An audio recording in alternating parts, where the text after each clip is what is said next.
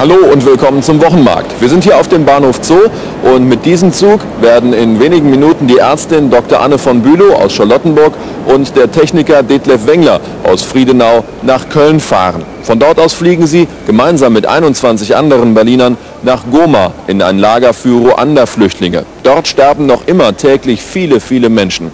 Warum nehmen die beiden diese Strapazen auf sich? Hila Gemeinhardt sprach mit ihnen. Die Ärztin Anne von Bülow hat eine gut gehende Praxis in der Charlottenburger Dankelmannstraße. Sie ist 52, lebt allein, der Sohn ist längst erwachsen.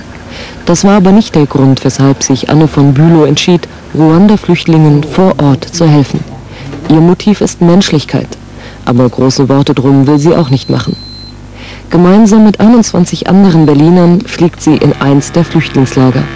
Wissen tun wir nur, dass wir ausgerüstet mit Medikamenten, die Spenden sind und äh, mit ein oder zwei, also ein Arzt, ein Pfleger, ein oder zwei Krankenschwestern äh, durch diese, dieses äh, Flüchtlingslager in Goma gefahren werden und irgendwo abgesetzt, um so gute Medizin zu machen, wie das da möglich ist. 14 Tage wird sie im Lager bleiben. Den Patienten hat sie gesagt, dass sie mal Urlaub machen will.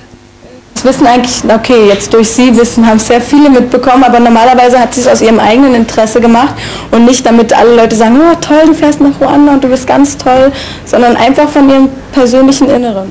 Während ihrer Abwesenheit übernimmt ein befreundeter Arzt aus der Schlossparkklinik die Praxisvertretung. Wenn ich Ihnen jetzt sage, sie fliegt nach Ruanda, um dort den Flüchtlingen zu helfen? Das ist eine ganz tolle Sache. Die Hauptsache, sie kommt uns wieder heil zurück. Frau von Bülow, ich kann nur gratulieren. Nicht? Szenenwechsel. Kreuznacher Straße in Friedenau. Hier wohnt Detlef Wengler, Techniker, 41, zurzeit arbeitslos. Er wird im Flüchtlingscamp Zelte aufbauen und sich um Wasserpumpen kümmern. Und er hatte nicht mal Zeit für alle Impfungen, die man dort unten braucht. Meiner Ansicht nach müssten da viel mehr Leute runterfahren und helfen. Und es werden nicht nur Ärzte gesucht, es werden auch Techniker gesucht. Wenglers Dalmatiner Diamond wird während seiner Abwesenheit von einer Freundin betreut. Haben Sie Angst um ihn? Naja, nur Angst. Ich meine, ein komisches Gefühl ist es zu wissen, es könnte dort was passieren und es ist ein Mensch, den man irgendwo mag und der ist mittendrin. Der Schlafsack und ein paar persönliche Sachen sind gepackt. Der Abschied von den Freunden ist kurz. Sonntagmorgen am Bahnhof zu. Für den Techniker Detlef Wengler und die Ärztin Anne von Bülow beginnt eine Fahrt ins Ungewisse. Beide erwarten das Schlimmste und wollen das Beste geben. Geld bekommen sie für den Einsatz im Flüchtlingslager von Goma nicht. Zwei Berliner, die sich nach einem Aufruf im Fernsehen entschlossen, nach Zaire zu fliegen, um den Ruanda-Flüchtlingen persönlich zu helfen. 266 Freiwillige gehören insgesamt zum ersten großen Hilfstrupp aus Deutschland. Das Schicksal der Ruanda-Flüchtlinge lässt keinen kalt. Die Resonanz, zum Beispiel auf die gemeinsame Spendenaktion von SFB, ORB und Tagesspiegel, ist groß. Aber dennoch reicht das Geld natürlich noch nicht.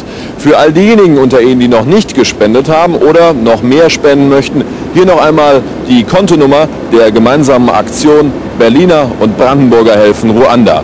Die Kontonummer lautet 949494 bei der Berliner Bank Bankleitzahl 100 200 00 oder unter der gleichen Kontonummer auch die Berliner Sparkasse, Bankleitzahl 100 500 00. Die 266 deutschen Ruanda-Helfer, die gestern vom Köln-Bonner Flughafen aufgebrochen sind, sitzen in Kairo fest. Ihre Maschine, eine von Care Deutschland gecharterte Ilyushin der russischen Fluggesellschaft Aeroflot, hat Probleme mit den Navigationsinstrumenten und muss erst repariert werden. Mit der Ankunft der Helfer in den Flüchtlingslagern von Goma ist nun frühestens für morgen zu rechnen. Ruandische Flüchtlinge verlassen nach Angaben der Vereinten Nationen weiter die von Frankreich eingerichtete Sicherheitszone im Südwesten des Landes. Zwar kommen wie hier bei Bukavu an manchen Tagen bis zu 2000 Menschen nach Zaire, die befürchtete Massenflucht, wie ins 100 Kilometer entfernte Goma, ist aber bisher ausgeblieben. Dort leben immer noch 850.000 Ruander. In den Lagern um Goma nimmt die Gewalt zu. Am Wochenende sind vier Menschen bei Streitereien um die Verteilung von Lebensmitteln getötet worden. Auch heute schossen sairische Soldaten auf Flüchtlinge.